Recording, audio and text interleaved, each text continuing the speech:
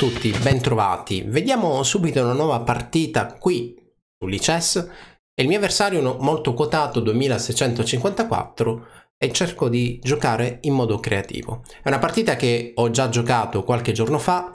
Come sempre nella descrizione del video troverete un link che vi rimanderà al gruppo studio su Lices. Vediamo un po' com'è andata. Se dovessi dare un titolo a questa partita, direi senz'altro gioco creativo, dinamico, pieno e ricco di tattica. D4, cavallo F6, C4, D5.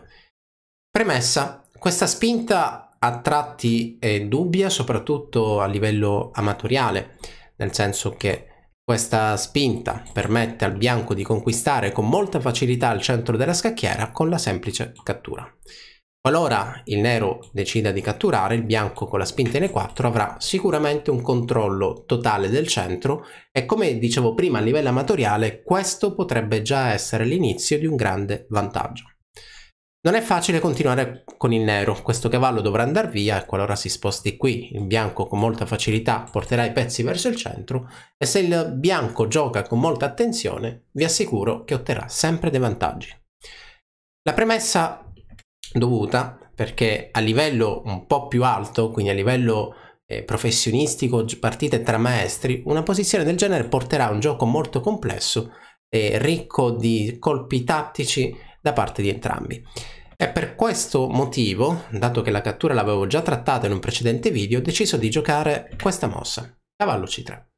Cavallo C3 minaccia la cattura, cavallo C3 qualora il nero decida di giocare G6, avrà un rientro, un'apertura molto più nota, quale l'apertura Grunfeld. Il mio avversario ha giocato C6 e adesso si va verso un binario molto più conosciuto, perché dopo C6 siamo nell'apertura slava e su cavallo F3 siamo verso una delle linee principali.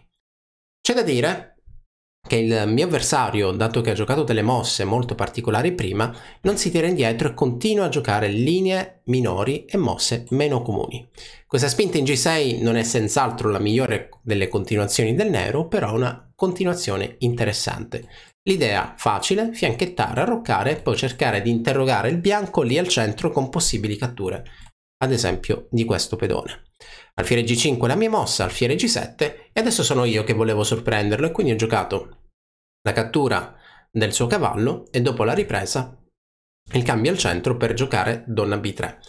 Questa idea da parte del bianco è tematica ogni qualvolta questo pedone non sia difeso da due pedoni, quindi ricordate questo concetto e quasi sempre risulta essere una mossa vincente qualora il vostro avversario abbia già sviluppato in apertura l'alfiere di case chiare.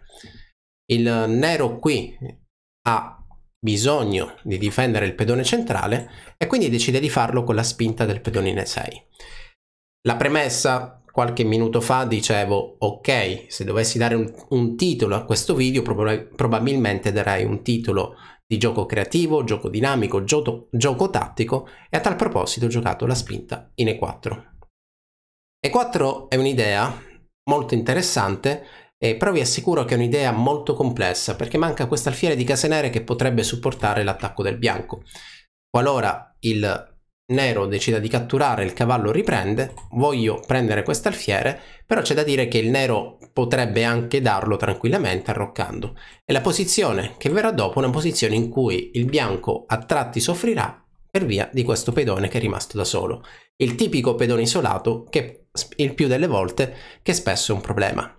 Tornando alla partita, il nero ha deciso di arroccare. A questo punto E5 giustifica la spinta in E4, l'alfiere torna in fianchetto e dato che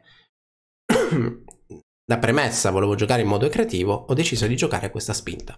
H4, un pedone laterale che cerca di conquistare spazio, cerca di andare in avanti per dare fastidio al nero cavallo c6 sulla scacchiera, pedone h5, si insiste, e adesso, visto che da bianco voglio cercare in alcuni casi la cattura, in altri la chiusura di quest'alfiere cercando di sotterrarlo, ad esempio sotterrarlo il più possibile, lasciarlo qui vincolato all'angolo in h8 con chiara difficoltà di essere riportato in gioco. Dopo h5 il mio avversario ha giocato f6 che potrebbe essere una reazione logica. In fondo il bianco è rimasto con il al centro, il bianco è in ritardo di sviluppo e quindi l'apertura del centro è senz'altro qualcosa di molto comodo e lineare. pedone per G6, il nero riprende e dopo donna C2 iniziano le prime minacce, tutto contro il pedone G6. Donna E8 difende e alfiere di 3 ripropone un nuovo attacco, un nuovo attaccante proprio contro questo pedone. Tuttavia, la mossa cavallo B4, che io avevo già considerato, eh, crea un attacco alla donna e all'alfiere e chiaramente sono due possibili catture che purtroppo per il bianco sono mosse che danno scacco, quindi da bianco non voglio e non ho la possibilità di giocare intermedi interessanti come la cattura semplicemente perché cavallo per c2, scacco re, il nero ha vinto. E allora a tal proposito ho giocato donna di 2. Pedone per e5, mossa logica, si deve e si cerca di aprire il centro della scacchiera, il cavallo riprende lì verso il centro e a questo punto alfiere per e5.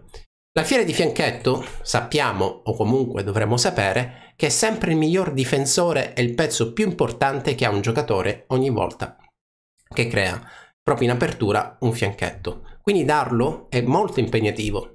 Se lo diamo dobbiamo essere certi che la posizione che abbiamo eh, ottenuto sia una posizione corretta, comoda, facile da giocare. Non è per nulla così, perché attenzione che questa torre che dal nulla si trova in una situazione di attacco semplicemente dalla posizione iniziale, in coordinazione con la donna potrebbe minacciare matto. Donna F7 è la sua scelta e arrocco lungo per me. A questo punto, da bianco, sto semplicemente minacciando donna H6. In caso di cattura di semplificazioni con cavallo per D3, la donna riprende e anche qui sto minacciando il raddoppio delle torri. Questa è una posizione della quale sono certo il bianco riesce a vincere. Sono certo al 100%. Donna per F2, la mossa del mio avversario, invece crea una tattica veramente bella e quindi vi invito a cercare questa tattica, magari mettere in pausa il video e chiedervi come il bianco riesca a creare scacco matto. Non so se avete messo in pausa il video, comunque lo scacco matto in quattro mosse che crea il bianco è molto facile da trovare. Per quale motivo? Sono mosse che danno scacco. Io do scacco a re, lo mi cattura, do scacco di donna, lo si sposta e a questo punto cattura il pedone nuovamente con scacco. Il re si sposta e dal nulla il bianco è in grado di creare questa batteria sul punto H7.